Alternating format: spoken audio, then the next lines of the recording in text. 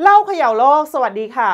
การต้านทานภัยพิบัติจากน้ำหลากที่เป็นที่จับตาของโลกก็คือการระบายน้ำท่วม ที่เขื่อนสามผานะคะ ในเวลานี้ โดยเฉพาะเมื่อปี 2563 ที่ผ่านมาค่ะ เขื่อนใหญ่ยักษ์ที่มีกำลังผลิตมากที่สุดในโลก ในอำเภออีซังมณฑลหูเป่ยค่ะ ในปี 63 นั้นถือว่าเป็นการรับศึกภัยพิบัติครั้งใหญ่ของจีนเลยก็ว่าได้ เพราะเหมือนเคราะห์ซ้ำกำซัดค่ะ ที่เสร็จจากสงครามโควิดไปไม่ทันไรค่ะ จีนชาติมหาอำนาจแห่งเอเชียก็ต้องมาเผชิญศึกใหญ่ มหาอุทกภัยอีกพร้อมกับข่าวลือนานับประการค่ะในขณะที่ในปีนั้นสถานการณ์ก็หนักมาก จากฝนที่ตกลงมาอย่างต่อเนื่องกว่าทุกปีที่ผ่านมานับ 2 เดือน จนเป็นเหตุให้เกิดน้ำท่วมใหญ่ในหลายมณฑลค่ะ ทั้งภาคตะวันตกเฉียงใต้ของประเทศ มาจนถึงชายฝั่งตะวันออก เหตุเพราะเขื่อนที่ใหญ่ที่สุดในโลกที่ชื่อว่าเขื่อนสามผานี่แหละค่ะ หรือมีชื่อภาษาจีนว่าซานเสียตาป้าค่ะ หลังจากที่มีการสร้างเขื่อนนี้ที่แม่น้ำแยนซีได้เพียงปีเดียวเท่านั้น เวลานี้รัฐบาลจีนก็ต้องยอมรับว่า โครงการเขื่อนผลิตไฟฟ้าพลังน้ำขนาดใหญ่ที่สุดในโลกแห่งนี้นะคะกำลังส่งผลกระทบในด้านลบด้วยนะคะ ต่อสิ่งแวดล้อม และความขัดแย้งในเรื่องการสร้างเขื่อนสามผาเนี่ยมันก็เกิดขึ้นมาโดยตลอดค่ะ ตั้งแต่การก่อสร้างเขื่อนในปี 1993 ค่ะ ก็มีการวิพากษ์วิจารณ์กันว่าโครงการนี้มันทำลายเมืองและหมู่บ้านหลายแห่ง ชาวจีนราว 1 ล้านคนค่ะ ต้องย้ายถิ่นฐาน แต่ในขณะที่นักวิทยาศาสตร์และนักสิ่งแวดล้อมมากมายค่ะเขาเตือนว่าเขื่อนสามผาเนี้ยจะทำลายระบบนิเวศรอบๆเขื่อนในอนาคตด้วย แต่รัฐบาลจีนก็ยังคงดึงดันสร้างเขื่อนต่อๆไปค่ะ นายเจียงเจ๋อหมินและนายหลี่เปงอดีตผู้นำจีนบอกว่า สร้างเขื่อนสามผานี้จะช่วยลดปัญหาแม่น้ำแยงสีท่วม แล้วก็ยังเป็นแหล่งพลังงานสะอาดขนาดใหญ่ ที่ใช้รองรับการขยายตัวทางเศรษฐกิจที่เติบโตอย่างรวดเร็วด้วยนะคะ แม้จะไม่ถูกใจนักรณรงค์เพื่อสิ่งแวดล้อมที่ต่อต้านการสร้างเขื่อนสามผามาโดยตลอดก็ตามค่ะ แน่นอนว่าภัยพิบัติเนี่ยมันก็มักจะมากับข่าวลือนะคะ มีข่าวว่าเขื่อนสามผาเนี่ยที่กั้นขวางแม่น้ำแยงซีที่เมืองอีซางมณฑลหูเป่ยทางภาคกลางของจีนเนี่ยใกล้จะแตก ข่าวนี้ค่ะเกิดขึ้นในปี 63 ปีเดียวกันนั้นนะคะ มีมวลน้ำมหาศาลนะคะ ที่แม่น้ำแยงซีเนี่ยพอไหลผ่านเข้าอ่างเก็บน้ำสามผาในระดับสูงสุด ครั้งนั้น เป็นประวัติการค่ะ ชาวจีนหลายมณฑลก็เลยต้องเผชิญกับมหาอุทกภัย ที่รุนแรงกว่าหลายสิบปีที่ผ่านมา หลังจากฝนตกถล่มทลายทำให้ทางมณฑลเสฉวนทางตะวันตกเฉียงใต้ของประเทศ ได้ประกาศยกระดับเตือนภัยสถานการณ์น้ำท่วมในมณฑลเสฉวนขึ้น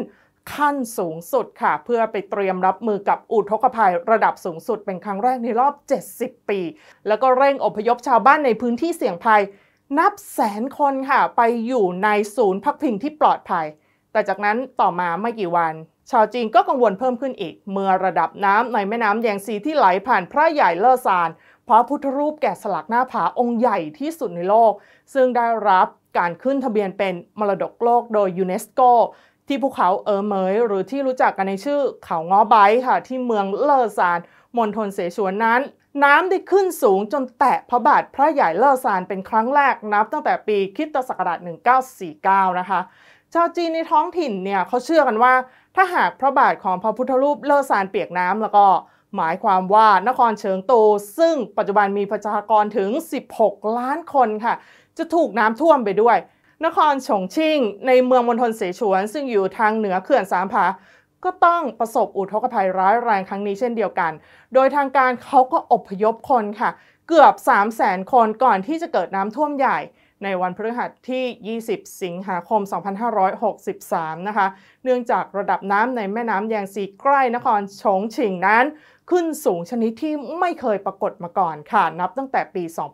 2524 ซึ่งตอนนั้นเกิดอุทกภัยครั้งเลวร้ายที่สุดในรอบร้อยปีค่ะทำให้ประชาชนเนี่ยถึง 1.5 ล้านคนไร้ที่อยู่อาศัยท่ามกลางข่าวลือต่างๆ นานาค่ะ ที่สร้างความหวาดหวั่นให้กับชาวจีนว่าจะเกิดเหตุการณ์เลวร้ายที่สุดที่เขื่อนสามผาหรือเปล่า แต่ในที่สุดค่ะเขื่อนนี้